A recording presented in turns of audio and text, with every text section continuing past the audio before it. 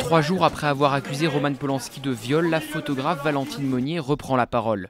Dans un texte transmis à l'agence France Presse, elle explique pourquoi il lui a fallu attendre plus de 40 ans pour parler. J'ai tenu tant d'années avant de comprendre, dans le pas de femmes exemplaires, que le chemin de la vérité était le droit chemin. J'ai apporté la part qu'il me semblait devoir et ne souhaite plus faire de déclaration. Le gouvernement militaire de Paris a reconnu le nommé Dreyfus Alfred coupable du crime. Ce qui a réellement poussé Valentine Monnier à s'exprimer, c'est la sortie du nouveau film de Roman Polanski, J'accuse, qui revient sur l'affaire Dreyfus, l'une des plus grosses erreurs judiciaires de l'histoire contemporaine. Elle accuse le réalisateur de comparer son sort à celui de l'officier français. Sans j'accuse, pour les raisons que je décris dans ma tribune, l'inacceptable et les provocations, je serai à jamais restée silencieuse.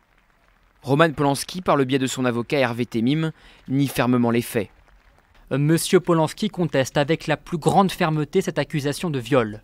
Nous travaillons aux suites judiciaires à apporter à cette publication. Valentine Monnier n'est pas la première femme à accuser le réalisateur du pianiste d'agression sexuelle. Il est poursuivi depuis 1977 par la justice américaine pour détournement de mineurs.